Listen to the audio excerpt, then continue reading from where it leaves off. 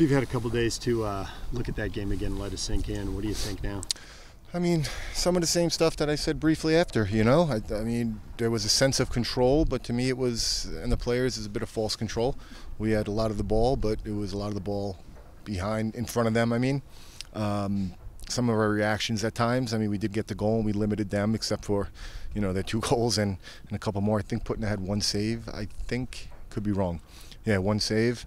Uh, but it's just about finding ways to close out the game. And teams, we've known this since last year. The year before, when I took over, it was more open games at home in the beginning.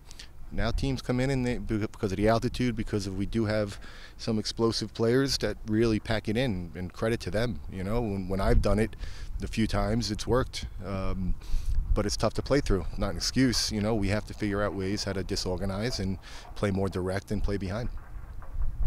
So there was, uh, you talked after the game about some of the balls that was too simple. You weren't bypassing mm-hmm. guys, mm-hmm. it was just passing to the next guy. It made it kind of predictable and easy to defend.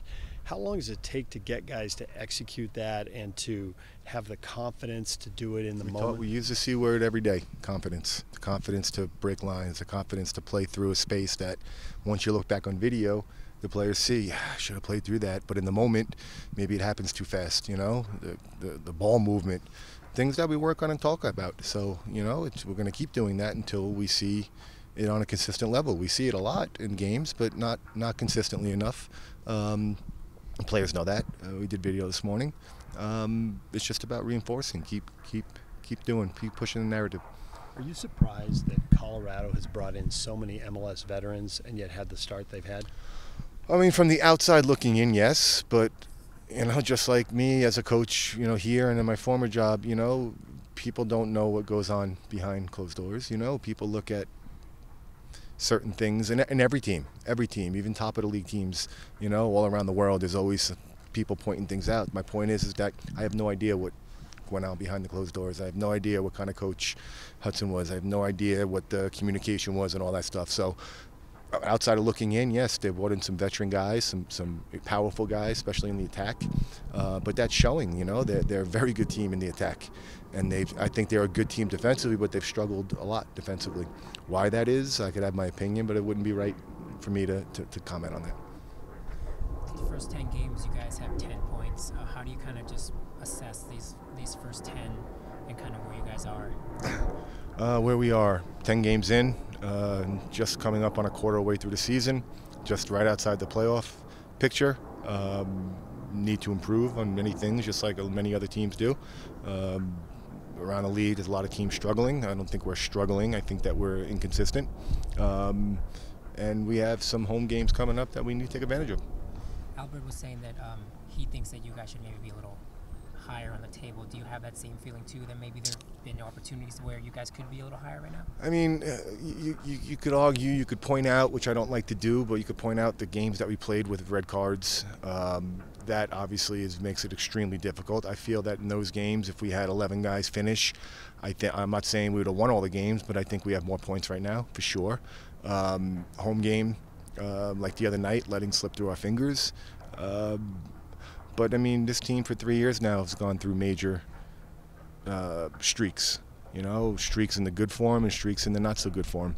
Um, and each year we've, we, we have the first year we had the most points down the stretch of any Western Conference team the last six months. Last year we made it to the playoffs and had a very good game. My point is, is that it's not even a quarter way through the season, and we're still trying to we're still trying to fine tune a lot of things.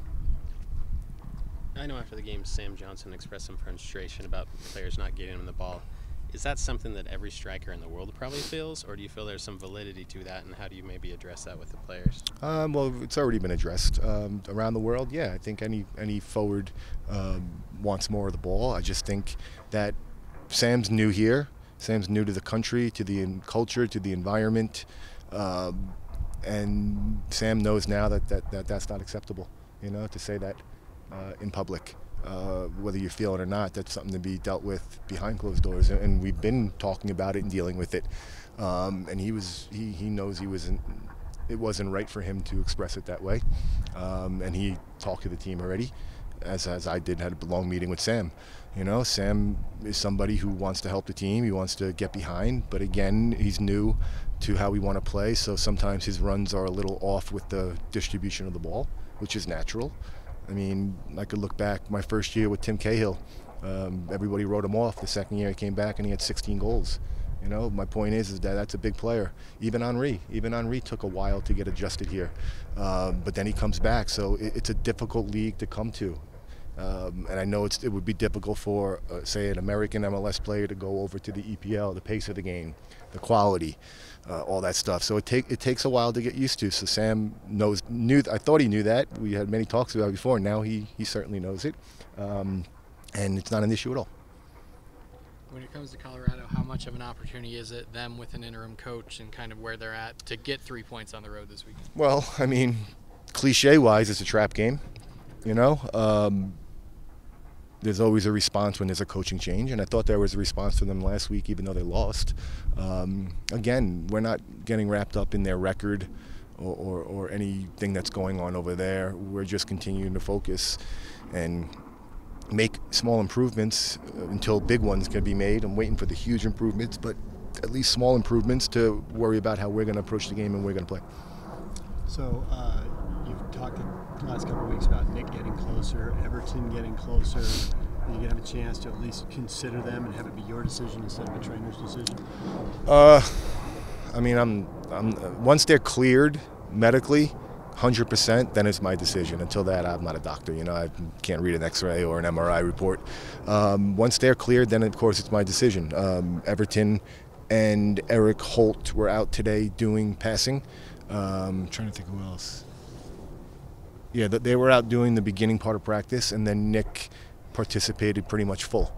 Um, so uh, that would tell me that Nick is ahead of the other two, and we're going to see how he responds from today and, and getting into Thursday, and we're going to make a decision and figure it out. In terms of um, offsides, I know Sam had I think it was four offsides. As a coach, do you view offsides as a positive because you guys are being aggressive, or do you, the reverse for other reasons where maybe you know you guys aren't executing the game plan how you would like? It's a good question. Um, I think there's positives and negatives in it. The positive is exactly what you said that we're playing forward. Um, negatives are something's off if with offsides like that, whether it's the player's run or it's taking too long to play the ball. And I know after the game I said too slow to get the ball forward. Looking back on the tape, I definitely think there were some instances when we were too slow to execute the pass, but there were also um, some some instances in those offsides when the run just was too straight ahead of besides towing between two defenders until the ball gets played, the curve run. So it's a combination. Uh, but yeah, it is a positive in a way that we are playing forward. But you know that'll come with time, with the understanding from a new player how much does that, even if you don't execute it right and, and the flag goes up, what kind of impact does that have? You know, as a former player, you'd know, even though in that moment it was fine, but you start worrying about the next time, and you know maybe you're dropping a step oh, deeper. You're talking about on the opposing is side. There, is yeah, a positive impact from the offside. yeah, possession I mean, but yes and no. Yes, because we know you have a if they're playing that much forward and behind the lines, and it's just that little bit of offside, then you know you're doing your job. You have a tight line. Um, but yeah, you start thinking they're going to start going direct. Maybe that does have a thing. And I, I, will say this is that I came down pretty hard in the video. Well, no, let me rephrase that. To my staff and talking ahead of the video we did this morning, I came down pretty hard after the game about uh, how many offsides and playing too slow. There were two instances on replay that was clear case onside. Um, and I just I just thought that that makes me frustrated because the one that uh, Donny played uh, Corey through who was one on one with a defender with Sam running behind. It was a two versus one. Um, it was onside. And I just, that frustrates me and I know a lot of coaches because we have VAR now. And if it's that close, you're supposed to let the play run and then VAR takes care of it. Uh, so after, my point is after the game, I was very adamant about we played too slow, played too slow, but there were at least two instances when we weren't too slow and it was onside.